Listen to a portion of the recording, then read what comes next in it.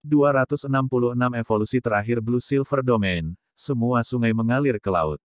Melihat ekspresi terkejut dan tidak percaya orang tuanya, Tang San dengan tegas berkata, Ayah, Ibu, dengarkan.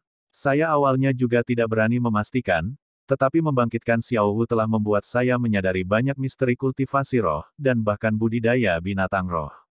Jika saya tidak salah, ayah, selama bertahun-tahun Anda menemani ibu, Anda pasti sudah makan banyak bahan obat. Tang Hao mengangguk. Itu semua ditemukan untukku oleh ibumu, dengan efek menopang fundamentalku. Ditambah lagi bahwa kondisi fisikku awalnya cukup baik, bahkan luka akibat putusnya lengan dan kaki telah sembuh total, dan kekuatan rohku telah kembali ke peringkat 79. Tang San berkata, saat itu, untuk membayar sekte, Anda memotong anggota badan, dan melepaskan lumpur dalam darah Anda, dan pada saat yang sama juga mengembalikan dua tulang roh itu. Kekuatan roh Anda juga secara paksa dikurangi 20 peringkat karena kehilangan tulang roh. Tapi nyatanya, kamu masih memiliki cincin roh ke-9, hanya saja kamu tidak bisa menggunakan dua cincin roh terakhirmu karena kurangnya kekuatan roh untuk mendukungnya, kan? Tang Hao berkata, itu benar. Tapi, bisakah anggota badan yang terputus bahkan dipulihkan? Tang San berkata dengan percaya diri. Kenapa tidak? Kemampuan tulang kaki kanan Kaisar Perak Biru yang ibu berikan kepadaku, Wildifrey membakar tanpa akhir, angin musim semi menghembuskan kehidupan baru, meskipun tidak bisa menghidupkan orang mati atau menumbuhkan daging dari tulang saja, itu masih cukup untuk menumbuhkan kembali anggota tubuh yang terputus. Setelah kekuatan roh saya mencapai peringkat 90, kemampuan tulang roh ini dapat digunakan sepenuhnya. Dengan kekuatan mental saya, Sangat mungkin untuk tidak hanya menggunakan kemampuan ini pada diri saya sendiri, tetapi juga pada orang lain.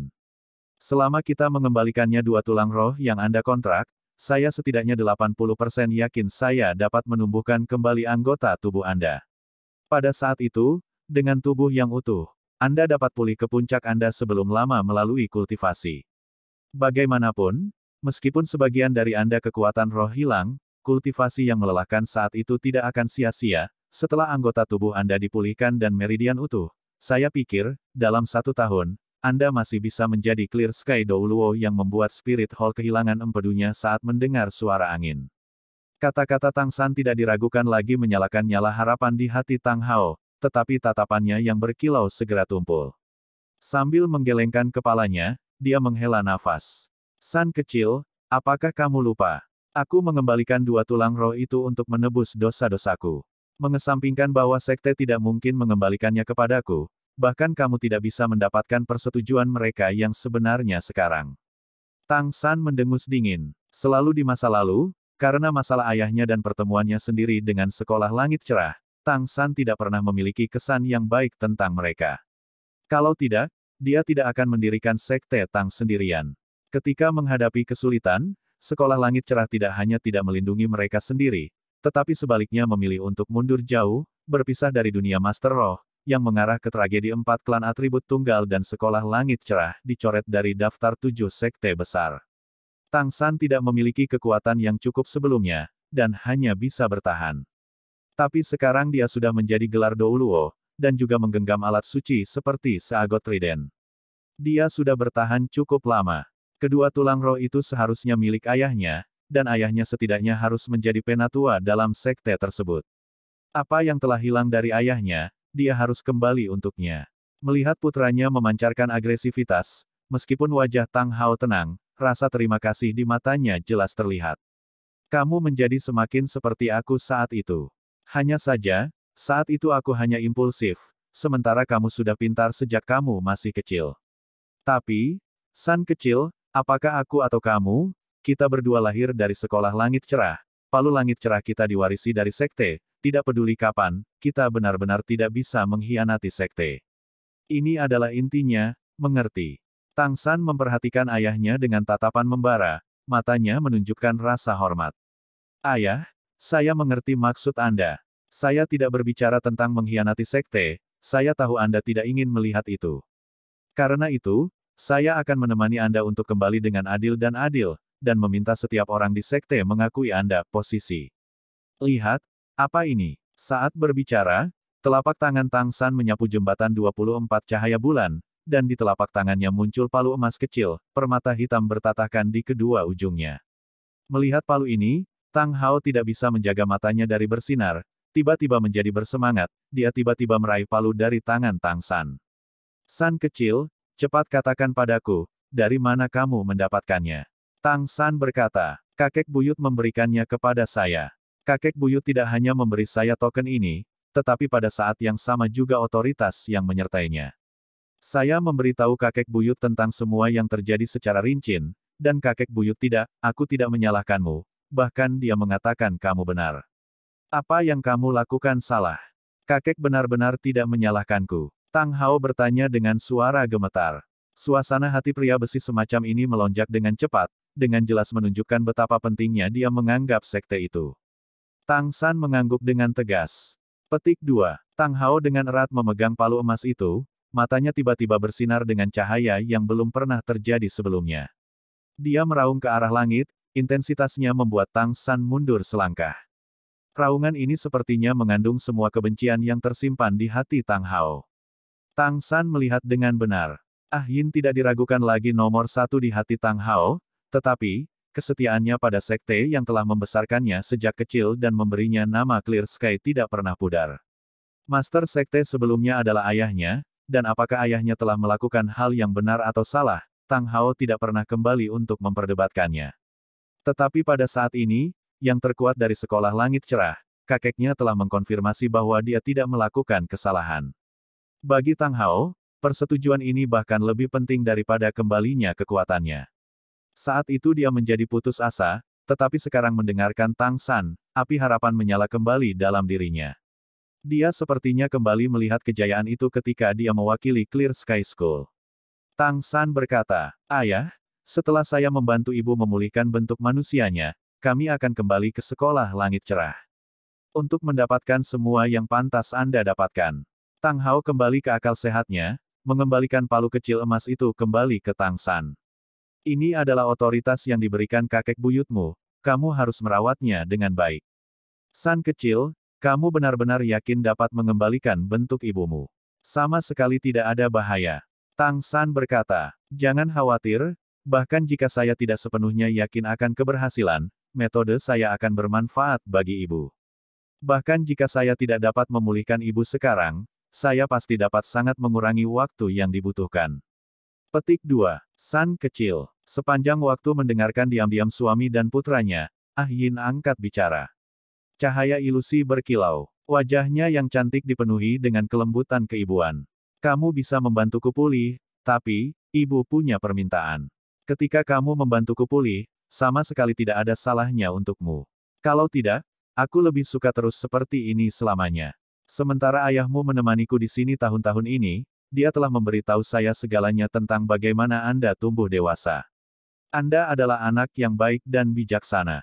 Tahukah Anda, ayah Anda dan saya merasa bahwa kami sangat berhutang budi kepada Anda. Kami membawa Anda ke dunia ini, tapi kami, aku tidak pernah memenuhi tugas kita sebagai orang tua. Kamu bahkan tidak memiliki masa kecil yang bahagia. Ibu sudah sangat menyesal. Jika kamu membiarkan dirimu terluka saat membantuku, ibu tidak akan pernah bisa memaafkan diriku sendiri. Tidak, Bu, jangan katakan apa-apa. Tang San berlutut di depan ibunya. Ya, ketika saya masih kecil, saya iri ketika saya melihat anak-anak lain yang memiliki ibu. Saya haus akan cintamu, tapi itu bukan salahmu, kamu tidak bisa bersamaku dan ayah. Orang tua tidak pernah berutang budi pada anak-anak mereka, tidak peduli apa kapan atau bagaimana. Bahwa Anda membawa saya ke dunia ini sudah merupakan bantuan terbesar, terbesar, yang tidak akan pernah bisa saya balas dalam hidup saya. Tanpa Anda, tidak akan ada saya. Hidup saya diberikan oleh Anda. Ada tidak ada hutang lain selain itu. Bu, jangan khawatir. Membantu Anda pulih tidak akan merugikan saya. Saya masih harus menunjukkan rasa hormat saya kepada Anda berdua setelah itu. Dan saya masih memiliki Xiao Wu untuk diurus. Bagaimana saya bisa tidak menghargai diri sendiri? Keluarga kami akhirnya bisa bahagia bersama. Saya tidak ingin membatasi waktu untuk ini. Mendengarkan Tang San, Ah Yin benar-benar ingin menangis, tapi dia belum bisa mengeluarkan air mata. Tang Hao membantu Tang San berdiri. Jangan bicara seperti itu, kamu akan membuat kami semakin terluka. Tang San mengangguk, mengangkat kepalanya untuk melihat ibunya. Kalau begitu saya akan mulai sekarang. Bu, Anda hanya perlu membuka pikiran Anda lebar-lebar, merasakan energi yang saya pancarkan kepada Anda dan memadukannya dengan semua energi di sekitar Anda. Saat dia berbicara, cahaya kemasan biru menyala. Tang San melepaskan kaisar perak birunya, dan pada saat yang sama juga merilis domain perak birunya. Cincin roh ketujuh berwarna merah darah menyala. Tepatnya, ini sekarang yang kedua dari empat cincin roh Tang San saat ini. Warna biru kemasan menyebar ke seluruh tubuhnya, dan Tang San memasuki keadaan avatar rohnya. Pada saat itu, di bawah pengaruh avatar perak biru, domain perak biru berkembang secara eksponensial, dengan cepat menyebar dan menyelimuti orang tuanya dan Xiao Wu, menyelimuti seluruh cekungan sumur es dan api yin yang, lalu melintasi dinding gunung, menyebar ke Sunset Forest di luar. Di dahinya, Merek Trisula Sagot menyala, kekuatan mentalnya yang tak terbatas benar-benar menyatu dengan domain perak biru. Untaian demi untai kaisar perak biru-biru kemasan yang keluar dari Tang San dan diam-diam memutar-mutar daun ahyin. Setiap daun lebar ahyin dililit erat oleh salah satu kaisar perak biru Tang San. Tang San terbang, melayang tepat di atas ibunya, untaian kaisar perak biru seperti jembatan yang menghubungkan mereka berdua. Ahyin dengan lembut berteriak. San kecil, Domain perak birumu sudah berada di level puncak. Tang San mengangguk ringan di udara. Bu, perhatikan menyerap energi yang kukirimkan padamu. Blue Silver Domain tiba-tiba berubah, biru kemasan sebelumnya tiba-tiba berubah sepenuhnya menjadi biru laut. Dalam sekejap ini, bagian dari hutan matahari terbenam yang diselimuti oleh Blue Silver Domain telah berubah menjadi samudra biru. Di dalam hutan, setiap rumput perak biru berayun dengan lembut. Bersama dengan ritme khusus, menyebarkan jejak samar cahaya kemasan lembut yang bergabung ke dunia biru itu, dan kemudian berkumpul menuju sumur es dan api yin yang di jantung hutan. Tepatnya, itu mengembun ke arah kaisar dunia perak biru ini, Tang San. Blue Silver Domain, kemampuan berevolusi terakhir, All River Run into the Sea, diluncurkan. Seiring dengan kekuatannya naik ke tingkat judul Douluo, domain perak biru Tang San juga telah berevolusi sekali lagi. Jika avatar roh adalah tempat sebuah domain menunjukkan kekuatannya yang sebenarnya, maka, kekuatan judul Douluo adalah faktor penting bagi sebuah domain untuk mengungkapkan level tertingginya. Cahaya biru yang kaya dengan lembut mengalir ke Ah Yin melalui tempat Kaisar Perak Biru menghubungkannya dengan Tang San. Setelah melewati pengumpulan dan penyaringan Tang San, energi ini telah menjadi energi Kaisar Perak Biru yang paling murni. Darah mereka yang sama membiarkan ibu dan anak berbagi energi tanpa halangan apa pun. Semua sungai Blue Silver Domain run into the sea, efek, di mana saja dengan rumput perak biru, domain dapat mengubah vitalitas rumput perak biru menjadi bentuk energi apa pun yang dibutuhkan Kaisar Perak Biru, dan menambahkannya ke diri sendiri. Selama masih ada rumput perak biru, energi Kaisar Perak Biru tidak akan pernah berkurang. Energi ini dapat berubah menjadi vitalitas, tetapi juga kekuatan roh atau kekuatan mental. Efek domain pamungkas ini tidak diragukan lagi dapat menempatkan Kaisar Perak Biru pada posisi yang tak terkalahkan saat melawan lawan dengan level yang sama di hutan. Dan pada saat ini, Tang San menarik dukungan dari kemampuan ini untuk mengubah energi semua rumput perak biru di hutan menjadi energi Kaisar Perak Biru, kemudian menggunakan dirinya sebagai perantara untuk mentransfernya ke ibunya, meningkatkan kultivasinya. Metode seperti itu juga hanya bisa digunakan antara ibu dan anak, dan juga mengharuskan Tang San untuk mengambil posisi terdepan, kecuali jika kekuatan Ah Yin suatu hari nanti melampaui miliknya. Di hutan matahari terbenam, semua binatang roh dengan gelisah bersembunyi di sarang mereka, gelombang energi tak terbatas membuat mereka tidak berani bergerak. Dengan energi yang sangat besar menyebar ke seluruh hutan, rumput perak biru tingkat terendah untuk pertama kalinya menjadi penguasa hutan besar. Dipanggil oleh Kaisar Perak Biru, mereka melepaskan nafas hidup mereka tanpa syarat. Dipelihara oleh cahaya biru itu, tubuh Ah Yin tumbuh secara eksponensial. Setiap daun mulai tumbuh setransparan safir, urat emas di atasnya juga menjadi semakin besar. Dia bisa dengan jelas merasakan kultivasinya tumbuh pada tingkat yang belum pernah terjadi sebelumnya. Ah Yin awalnya memiliki seratus ribu tahun pengalaman berkultivasi, dan secara alami tahu apa yang harus dilakukan dengan energi yang sangat cocok ini, dan juga dapat melakukannya dengan tepat. Hanya saja, hatinya agak gelisah. Dia tentu saja memahami kemampuan All Rivers Run into the Sea dari Blue Silver Domain, dia telah memilikinya sendiri sebelum dia memutuskan untuk mengambil bentuk manusia. Dia benar-benar tidak ingin melihat orang-orangnya mengkonsumsi terlalu banyak vitalitas mereka untuk membangkitkannya. Tetapi pemimpinnya adalah Tang San, dia hanya bisa menerimanya secara pasif, dan dia bahkan lebih tidak mau menyakiti hati putranya. Tang San sepertinya memahami hati ibunya. Apa yang dia lakukan selanjutnya membuat Ah Yin menenangkan hatinya. Tangan kanannya bergerak. Seagot trident yang gelap yang ditusukkan ke bumi jatuh ke telapak tangan Tang San, Sigat Slide sekali lagi menjadi jembatan antara Tang San dan Trisula emas ini. Cahaya keemasan yang menyilaukan naik ke langit, aura ilahi yang mewakili kekuatan seagot menyebar bersama dengan Blue Silver. Domain. Seperti lautan luas yang memulihkan kehidupan semua makhluk hidup menyebar ke setiap sudut Blue Silver Domain, menyelimuti seluruh Sunset Forest. Vitalitas rumput perak biru yang sudah layu karena melepaskan terlalu banyak kekuatan hidup mereka dihidupkan kembali dalam kekuatan seagot yang ditugaskan ke seagot Trident. Dan domain perak biru Tang San sekarang telah menjadi sepenuhnya emas. Tepatnya, apa yang dia gunakan sekarang harus disebut domain perak biru seagot. Domain seperti ini mungkin tidak benar-benar berguna dalam pertempuran, tetapi memiliki manfaat besar bagi rumput perak biru yang menyerap energi. Cahaya seagot saja bisa dengan cepat memulihkan kultivasi Ah Yin, apalagi ketika itu dilakukan ke energi kaisar perak biru seperti ini. Ini juga kartu truf Tang San untuk membangkitkan ibunya. Karena keberadaan seagot Trident, dia tidak perlu khawatir tentang semua sungai berlari ke laut dari domain perak biru yang merusak rumput perak biru di sini. Itu juga hanya karena kekuatan ilahi Sagot bahwa dia bahkan lebih yakin untuk dapat membantu ibunya memulihkan bentuk manusianya.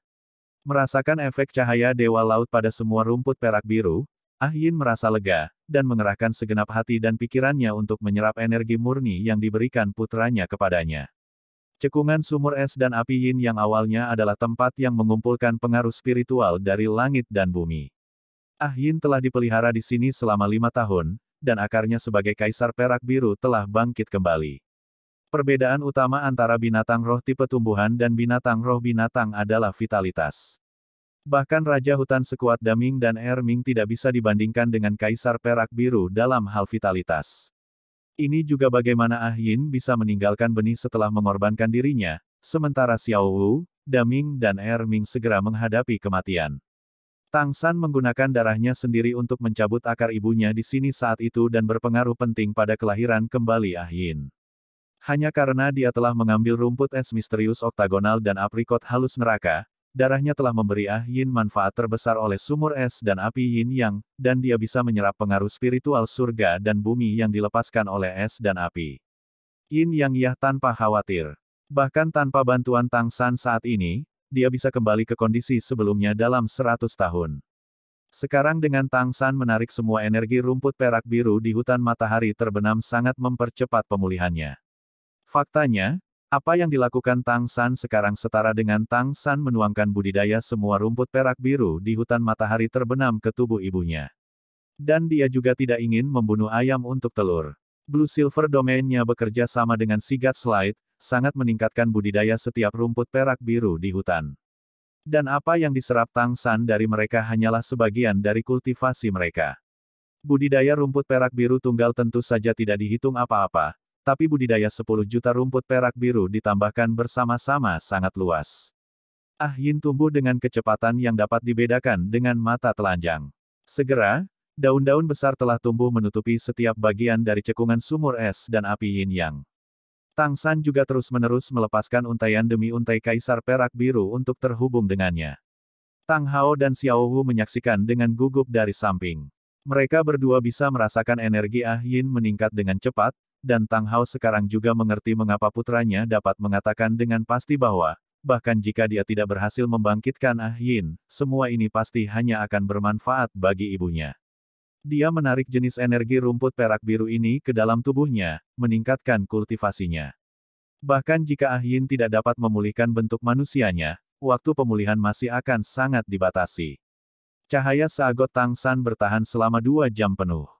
Setelah kekuatan ditandai dan cahaya biru menghilang, Tang San jatuh dari langit, duduk bersila di sebelah ibunya, langsung memasuki kultivasi. Kekuatan mentalnya hampir benar-benar habis, tetapi belum terlalu ditarik. Ah Yin telah mengalami perubahan besar dalam dua jam ini.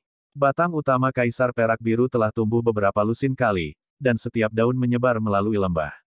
Seiring dengan Tang San memasuki kultivasi, auranya juga menjadi sunyi. Meskipun energi yang dia terima tidak memerlukan penggabungan apa pun untuk menjadi miliknya, dia masih harus menyesuaikan diri dengan keadaan barunya. Hanya dalam beberapa jam, kultivasi Ah Yin telah meningkat lebih dari 20.000 tahun. Rumput perak biru dibuat untuk kualitas dengan kuantitas, dan hub seperti transmisi Tang San yang belum pernah terjadi sebelumnya, mengandalkan kemampuan tertinggi Blue Silver Domain dengan kekuatan ilahi seagot untuk memadatkan cahaya kemasan, itu telah sepenuhnya mencapai efek yang diinginkan Tang San. Tang San menggunakan dua hari penuh untuk memulihkan kekuatan mentalnya. Selama sepuluh hari berikutnya, dia berulang kali menggunakan metode yang sama empat kali untuk memadatkan energi Kaisar Perak Biru untuk ibunya. Dengan bantuan cahaya Dewa Laut, rumput perak biru di hutan matahari terbenam menawarkan energi yang tak habis-habisnya. Sampai energi Kaisar Perak Biru yang dimiliki Ah Yin benar-benar setara dengan level Tang San, dan tidak dapat ditransmisikan lagi. Setelah menyelesaikan transmisi energi terakhir, Tang San sekali lagi memasuki kultivasi. Saat ini Ah Yin telah mengalami perubahan perputaran langit dan bumi. Daun-daun besar tidak lagi menyebar, tetapi malah berkumpul bersama, setiap daun tidak hanya memiliki energi kaisar perak biru yang sangat besar, tetapi juga sebagian dari aura cahaya dewa laut. Daun-daun itu sekarang telah berubah sepenuhnya menjadi emas, membentuk kepompong selebar 10 meter. Cahaya keemasan yang menusuk berkobar, tubuh Ah Yin mengandung fluktuasi energi yang sangat besar. Setelah mengalami keadaan yang sama, Xiao Hu memberitahu Tang Hao bahwa ini adalah tanda-tanda binatang buas yang mencapai seratus ribu tahun. Ketika Ah Yin keluar dari kepompongnya, dia akan kembali ke tingkat seratus ribu tahun. Pada saat yang sama, sementara dalam kepompong ini terbentuk dari tubuh dan energinya sendiri, dia juga memiliki kesempatan untuk membuat pilihan. Entah menjadi manusia, atau tetap sebagai makhluk roh ratusan ribu tahun yang tangguh. Tidak diragukan lagi bagaimana Ah Yin akan memilih. Dia sudah mengalami kultivasi sebagai manusia, dan bahkan Xiao Hu tidak tahu seperti apa dia setelah putus. Bagaimanapun, ini adalah pertama kalinya dia melihat orang seperti Ah Yin, yang telah dua kali berkultivasi hingga seratus ribu tahun. Tang San terbangun dari kultivasi setelah dua hari. Dalam belasan hari ini, dia terus-menerus menggunakan dan memulihkan kekuatan mentalnya, dan rasanya kekuatan mentalnya menjadi sedikit lebih solid. Kepompong emas masih menyala dengan cahaya redup, tidak ada yang tahu berapa lama evolusi ini akan berlangsung. Tang Hao duduk menunggu di depan kepompong, Matanya dari waktu ke waktu berkilau karena kecemasan. Meskipun dia sudah menunggu begitu lama, dan dengan segala alasan istrinya harus memiliki kesempatan untuk segera pulih ke keadaan semula, semakin banyak yang terjadi, semakin kuat kesabarannya. Melihat kepompong emas itu, dia tidak sabar untuk melihat istri tercintanya lagi.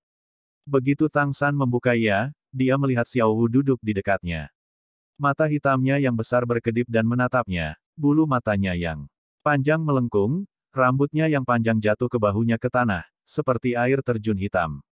Xiao Wu, jika orang tuanya tidak ada di sini, Tang San pasti ingin langsung menunjukkan kasih sayangnya. Xiao Wu dengan gembira berkata, G, kamu sudah bangun. Sudah hampir sebulan sejak mereka datang ke sini. Di celah antara tempat Tang San membantu ibunya pulih, dia dan Xiao Wu telah mengubur tubuh Daming dan Erming di sisi lain sumur es dan api yin yang. Meskipun dia tahu itu tidak mungkin, Xiao Hu diam-diam masih berharap pengaruh spiritual di sini bisa memberi dua raja hutan kesempatan tipis untuk bangkit. Setelah berbicara dengan Tang San dan orang tuanya, suasana hati Xiao Hu sudah jauh lebih baik. Meskipun rasa sakit di hatinya masih ada, dia tidak ingin Tang San melihatnya tidak bahagia. Xiao Hu dengan imut melompat ke pelukan Tang San, rambut hitam panjangnya menyembunyikan keduanya seperti kerudung. Xiao Hu dengan lembut berkata, G, apakah kamu tahu kapan ibu bisa bangun? Tang San menggelengkan kepalanya. Bahkan kamu tidak tahu, dan aku tahu lebih sedikit. Tapi karena ada cukup energi dan ibu telah mengalami terobosan selama seratus ribu tahun, itu tidak akan terlalu lama. Xiao Hu berkata, G, ayo jalan-jalan, oke. Okay. Ada banyak binatang buas di hutan matahari terbenam ini, mungkin kami bisa menemukan beberapa yang cocok untukmu. Hati Tang San berkedut. Xiao Wu, Aku masih belum bertanya padamu. Berapa tingkat kekuatan rohmu sekarang? Meskipun tubuh dan jiwamu terpisah beberapa tahun terakhir ini, kamu masih mengambil dua ramuan kelas abadi yang hebat. Terutama kerinduan itu. Heartbroken Red sangat efektif. Bahkan jika kultivasimu tidak lebih dari milikku, mengandalkan ramuan abadi ini, ketangguhan fisikmu tidak kurang dari milikku. Xiao Hu tersenyum sedikit. Aku juga tidak tahu apa peringkat kekuatan rohku, Aku berada di kemacetan sekarang, kemacetan peringkat ke-70. Ketika aku beralih dari budidaya binatang roh 100 ribu tahun menjadi manusia, enam cincin roh pertama tidak memerlukan berburu binatang roh, tetapi pada peringkat ke-70 saya benar-benar manusia. Dan dengan efek dari dua ramuan kelas abadi itu, saya menjadi manusia sedikit lebih awal. Sekarang saya juga perlu berburu binatang roh untuk cincin roh. Saya merasa seperti saya kekuatan roh seharusnya tidak berhenti di peringkat 70, tapi aku juga tidak tahu berapa banyak lagi. Tang San menarik Xiao Wu ke atas, dengan terampil mengeluarkan sisir kayu cendana dari jembatan 24 cahaya bulan, berbicara padanya sambil menyisir rambut hitam legamnya. Kalau begitu kita akan berjalan-jalan di Sunset Forest. Dengan kondisi fisikmu saat ini, menyerap cincin roh seratus tahun mungkin sedikit berbahaya, dan menemukannya juga tidak mungkin. Tapi, binatang roh 50 atau 60 ribu tahun, cincin roh seharusnya tidak menjadi masalah. Setelah kamu memiliki avatar roh, kemampuan pertahananmu akan lebih kuat. Sayangnya, aku tidak memiliki cincin roh yang dianugerahkan dewa di tangan. Xiao Hu berkata, karena jiwa dan tubuh saya terpisah, saya hanya memiliki satu percobaan, dan semua hadiah ditumpangkan. Saya bisa mendapatkannya setelah Anda menyelesaikan sembilan percobaan seagot. Saat ini Anda masih kekurangan lebih dari 10 cincin roh dan tulang roh untuk percobaan ke-8. Ibu baru saja berevolusi, mari kita cari di sini. Jika ada cincin roh yang cocok. Tang San mengusap kepala Xiao Wu. Dia tentu saja tahu bahwa Xiao Wu mengatakan ini karena dia telah kehilangan lima cincin roh untuk membangkitkannya. Sebagai mantan binatang roh, dia paling tidak suka melihat Master Roh berburu binatang roh. Sambil menyisir rambut Xiao Wu, Tang San berkata kepadanya, Xiao Wu, aku berjanji padamu bahwa semua makhluk roh yang aku bunuh akan menjadi yang paling jahat, jenis yang mengambil inisiatif untuk menyerangku, dan aku sama sekali tidak akan membunuh lebih dari yang dibutuhkan. Oke. Okay. Xiao Wu mengangguk sedikit. Punggungnya menghadap Tang San, tetapi tepi matanya sudah merah. Daming dan Erming sudah mati. Di dunia ini Tang San adalah satu-satunya keluarganya. Pikiran Tang San untuknya, Cintanya padanya, tanpa terasa melarutkan kesedihan di hatinya. Setelah beberapa saat, kepang kala jengking yang rapi sudah selesai. Bahkan diikat dengan kepang, rambut Xiaohu hampir mencapai tanah. Mata Xiaohu tidak lagi merah. Berbalik, dia tersenyum manis pada Tang San. Ayo beritahu ayah dan pergi. Tang San mengangguk. Memimpin bersama tangan kecil lembut Xiaowu, mereka pergi ke Tang Hao. Tatapan Tang Hao selalu tertuju pada kepompong emas raksasa. Aku mendengarmu berbicara. Pergi, perhatikan keselamatanmu. Tang San berjanji, dan mengeluarkan seagot trident di dekatnya. Mengucapkan selamat tinggal kepada ayahnya, mereka terbang ke atas dan melewati puncak gunung, tiba di hutan matahari terbenam. Kaki mereka tertanam kuat di tanah, keduanya berpegangan tangan dan berjalan ke hutan. Tang San tidak terburu-buru untuk berburu binatang buas, ini adalah pertama kalinya dia berjalan dengan Xiao Wu di hutan setelah kebangkitannya, dan dia tidak ingin merusak suasana menyenangkan ini dengan membunuh. Hati Xiao Wu saling terkait dengan Tang San, dengan lembut mengikutinya.